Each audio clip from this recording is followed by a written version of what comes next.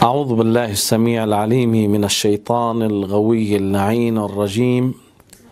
بسم الله الرحمن الرحيم. والحمد لله رب العالمين. والحمد حقه كما يستحقه. حمدا دائما أبدا. لا يحصي له الخلائق عددا. ونعوذ به من شرور أنفسنا ومن سيئات أعمالنا. ونتوكل عليه سبحانه فلا حول ولا قوة لنا إلا به عز وجل. أيها الإخوة المشاهدون أيتها الأخوات المشاهدات نستمر معكم في برنامجنا الفضيلة الإسلامية. شارحين بعض ما أورده آية الله العظمى سلطان المؤلفين المجدد الشيرازي السيد محمد بن مهدي طيب الله ثراهما. طلب الحرام هل يوافق عليه عقل؟ هل يوافق عليه عرف؟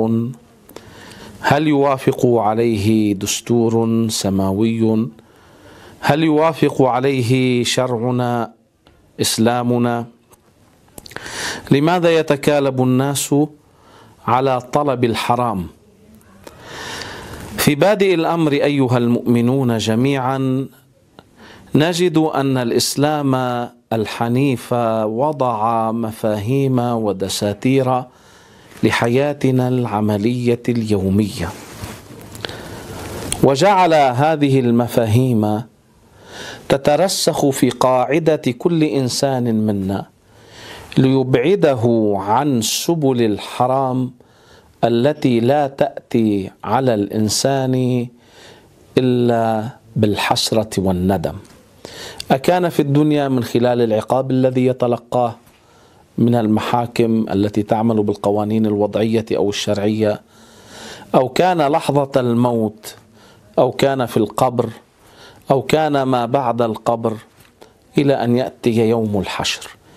يعني الحسرة والندامة أمران يرافقانه إلى نهاية ما لا نهاية له. يتكالب الناس على المادة أينما وجدوها وصراحة تضعف نفوس كثيرة أمام هذه المادة. ولا ينظر الكثيرون أكان طعامهم من حل أم من حرام نستشير بالله. ولا يدرون أي أثر ولا يدرون أي أثر أو أي أثر يتركونه في مسلكهم على أولادهم على حياتهم في آخرتهم. وفي سبيل تحصيل هذا المال في طلب الحرام هم مستعدون أن يفعلوا كل شيء. وقد روى صاحب الكتاب عن أحد قال له الحلال ما حل بالكف. يعني كل ما يحل بالكف من حرام من سرقة من ابتزاز من عمليات احتيال كل ما يصل إلى الكف هو حلال. انظروا إلى هذه المفاهيم المغلوطة. المادة التي تتحصل بالربا نستجير بالله أو بالسرقة. أو بالغبن أو بالخيانة أو بتعاطي الفواحش أو بأي أمر حرمه الشارع المقدس يسمى هذا المال بمال السحت. نستجير بالله. هذا له آثار دنيوية وآثار أخروية. من الآثار الدنيوية أن مال الحرام يذهب بأهله. يذهب بأهله إلى أين؟ إلى عقاب في دار الدنيا وإلى حسرات تنتابه وإلى عذاب في دار الآخرة وإلى حسرات هناك تنتابه لذا يحذر الإسلام من طلب الحرام تحذيره من كل إثم وفسق ويرصد لذلك أرصدة ضخمة لذلك ترى أن الفقهاء الكرام قد أوردوا بابا كاملا سموه بباب المعاملات التي يحتاجها الإنسان في البيع والشراء في حركته اليومية في تحصيله الأمور المادية. ولا يخفى على ذي لب أن الشخص الذي يعتاد على الحرام نستجير بالله. والذي لا ينتهي إذا نهي كالمرابي نستجير بالله. وعده الله تعالى بأن يخلد في نار جهنم. فالذي ينتهي أو ينهى ولا ينتهي عن فعل الموبقات وفعل الحرام تراه يتجرأ بفعل كل محذور ويتخطى كل محظور. لذلك نجد المشاكل الكثيرة في مجتمعاتنا. النبي الأعظم صلى الله عليه وعلى آله حذر من مثل هذا المال ووردت أحاديث كثيرة. منها قال صلى الله عليه وعلى آله إن لله ملكا على بيت المقدس ينادي كل ليلة إن لله ملكا على بيت المقدس. ينادي كل ليلة. دقق كل ليلة. من أكل حراما لم يقبل منه صرف ولا عدل. أي لا نافلة ولا فريضة.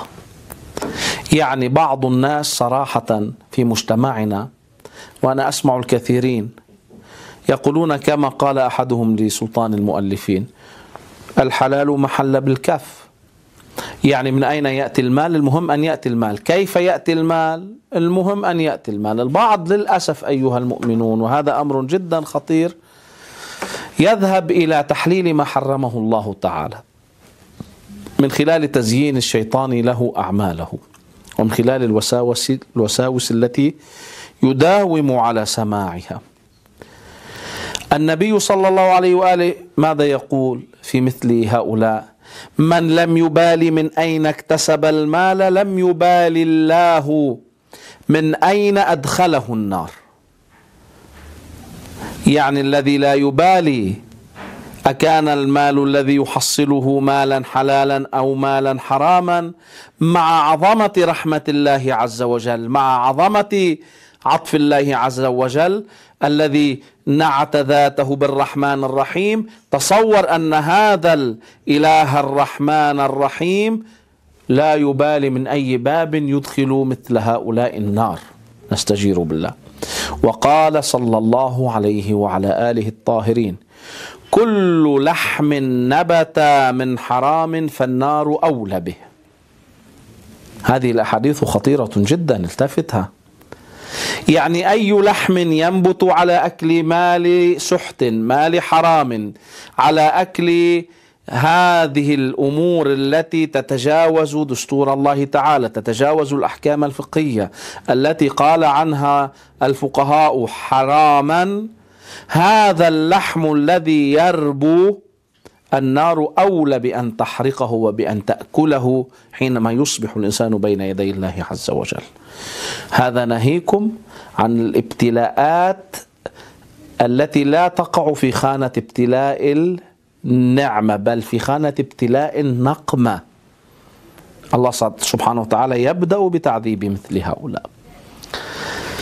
قال صلى الله عليه وعلى آله الطاهرين من أصاب مالا من أصاب مالا يعني من أخذ مالا أو حصل مالا من مأثم فوصل به رحما أو تصدق به أو أنفقه في سبيل الله جمع الله ذلك جميعا ثم أدخله في النار. يعني البعض عندنا للأسف يأتي بالمال الحرام ويتصدق على البعض.